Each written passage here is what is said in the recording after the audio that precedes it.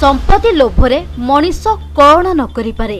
ପିତୃ ଅର୍ଜିତ ସମ୍ପତ୍ତି ପାଇଁ ନିଜ ରକ୍ତର ଭାଇ ଭଉଣୀକୁ ସାତ ବର୍ଷ ଧରି ଲୁହା ଶିକୁଳିରେ ବାନ୍ଧି ରଖିଥିବା ଭଳି ଏକ ଅମାନୁଷିକ ଘଟଣା ଦେଖିବାକୁ ମିଳିଛି କୁଜଙ୍ଗ ବ୍ଲକ ବଡ଼ ବାଲିକଣି ଗ୍ରାମରେ।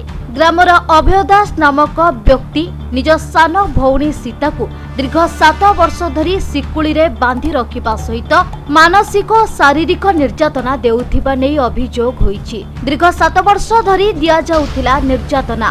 ତାହା ପୁଣି ଲୁହା ଶିକୁଳିରେ ବାନ୍ଧି କୁଜଙ୍ଗ ବ୍ଲକ ବଡ଼ ବାଲିକଣି ଗ୍ରାମରେ ଦେଖିବାକୁ ମିଳିଛି ଏହି ଅଭାବନୀୟ ଘଟଣା।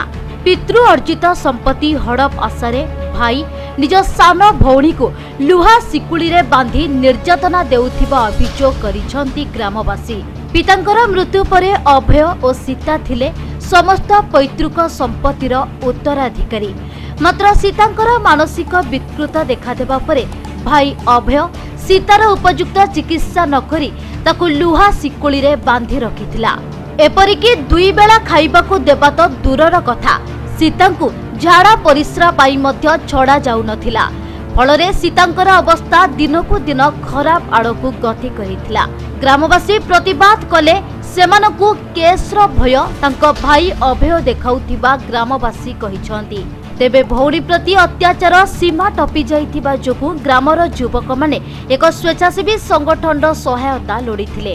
ଗତ ଷୋହଳ ତାରିଖରେ ସଂଗଠନ ପକ୍ଷରୁ କୁଚଙ୍ଗ ପୋଲିସକୁ ଅବଗତ କରାଯାଇ ପୀଡ଼ିତା ସୀତାର ଶିକୁଳି ଖୋଲାଯାଇଥିବା ବେଳେ ତାଙ୍କୁ ଖାଇବା ପିଇବା ସହିତ କମ୍ବଳ ଯୋଗାଇ ଦିଆଯାଇଥିବା ବେଳେ ଆସନ୍ତା ମଙ୍ଗଳବାର ଏକ ଜରାଶ୍ରମରେ ରହିବା ପାଇଁ ପଠାଯିବ ବୋଲି କହିଛନ୍ତି ମହିଳା ସାମାଜିକ କର୍ମୀ ଆଇଏଚ୍ଆର୍ସିର ଓମେନ୍ ୱିଙ୍ଗସର ଡିଷ୍ଟ୍ରିକ୍ଟ ପ୍ରେସିଡେଣ୍ଟ ଏବଂ ରାଜ୍ୟ ଉପଭୋକ୍ତା ମହିଳା କଲ୍ୟାଣ ମହାସଂଘର ସେକ୍ରେଟାରୀ ମଧ୍ୟ ସମାଜସେବୀ ଆଉ ଘଟଣାଟି ଯେଉଁ ବାଲିକଣିରେ ଘଟିଥିଲା ପ୍ରକୃତରେ ଘଟଣାଟି କ'ଣ ଥିଲା ମୋତେ ବାଲିଗଣିର କିଛି ବ୍ୟକ୍ତି ଏ, ମିଲନ ସେଠୀ ଆଉ ନୃସିଂହ ସାହୁ ଏମିତି କିଛି ତାଙ୍କର ବାଲିଗଣିର କିଛି ବ୍ୟକ୍ତି ମୋତେ ଫୋନ୍ କଲେ ଯେ ନାନୀ ଏମିତି ଗୋଟେ ଉମ୍, ଝିଅକୁ ଏଠି ଟର୍ଚର କରାଯାଉଛି।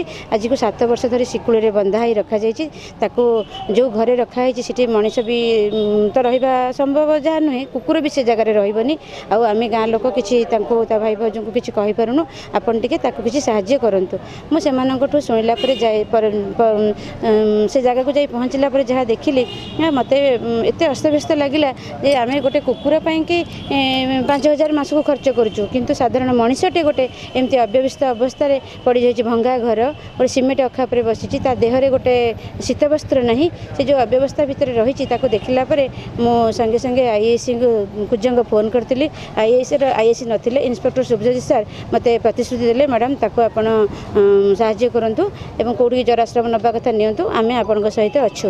ମୁଁ ତାକୁ ମଙ୍ଗଳବାର ନେବା ପାଇଁକି ନିଷ୍ପତ୍ତି ନେଇଥିଲି କିନ୍ତୁ ତାଙ୍କ ଗାଁର ପରିସ୍ଥିତିଟା ଠିକ୍ ଲାଗିଲାନି ମୋତେ। ତାଙ୍କ ଗାଁ ଲୋକ ଫୋନ୍ କଲେ ମୁଁ ଆଜି ତାଙ୍କୁ ଆଇଏସିଙ୍କ ସହାୟତାରେ ଆଜି ପାରାଦ୍ୱୀପର ସନ୍ତୋଷୀ ଜରାଶ୍ରମକୁ ନେଇକି ଯାଉଛି ଆଉ ସେଠି ଛାଡ଼ିବି। ମୁଁ ଭାବୁଛି ସେ ସେଠି ନିଶ୍ଚିତ ଭାବରେ ଭଲରେ ରହିବ ବୋଲି। ସମ୍ପତ୍ତି ଲୋଭରେ ସୀତାକୁ ସାତ ବର୍ଷ ଧରି ଡରାଇ ଧମକାଇ ବାନ୍ଧି ରଖାଯାଇଥିବା ବେଳେ ଏବେ ସେ ଏକ ପ୍ରକାରର ମୁକ ପାଲଟି ଯାଇଛି। ଅନ୍ୟପକ୍ଷରେ ଆର୍ଥିକ ସମ୍ବଳ ନଥିବା ତଥା ମାନସିକ ଭାରସାମ୍ୟ ହରାଇଥିବା ସୀତା ଗ୍ରାମବାସୀଙ୍କୁ ହଇରାଣ ହରକତ କରୁଥିବା ଯୋଗୁଁ ବାନ୍ଧି ରଖିଥିଲେ। ସୀତା ଦାସ ନାମକ ଗୋଟେ ଝିଅ ତାର ଏଜ୍ ପ୍ରାୟ ସଇଁତିରିଶରୁ ଚାଳିଶ ବର୍ଷ ଭିତରେ ହେବ। ଆମେ ଇନଫର୍ମେସନ୍ ପାଇ ଗଲୁ ସେ ସ୍ପଟ୍ରେ ଦେଖିଲୁ ଗୋଟେ ଘର ଭିତରେ ପ୍ରାୟ ଛଅ ସାତ ବର୍ଷ ତାକୁ ଘର ଭିତରେ ରଖୁଥିଲେ। ତ ଟିକେ ଜଣାପଡ଼ୁଛି ତାର ମେଣ୍ଟାଲ କ୍ରାକ୍ ଥିବା ଭଳିଆ। ତ ଏକଦମ ୱିକ୍ ଅଛି। ଆଉ ସେ ଭାଇର ରିକ୍ୱେଷ୍ଟ ହେଉଛି ଜରାଶ୍ରମରେ ରଖିଲା ପରେ ତାକୁ ଟ୍ରିଟମେଣ୍ଟ କରାହେବ। ନା ଏ ବିଷୟରେ ତ ଆମ ପାଖରେ ଇନଫର୍ମେସନ୍ ନାହିଁ। ଆମେ ଖବର ପାଇକି ସାଙ୍ଗେ ସାଙ୍ଗେ ଯାଇଥିଲୁ। ସେଗୁଡ଼ାକ ସବୁ ଇନକ୍ୱାରି କରାହେବ। ଜଗତସିଂହପୁର ପ୍ରଳୟ ମହାପାତ୍ରଙ୍କ ରିପୋର୍ଟ।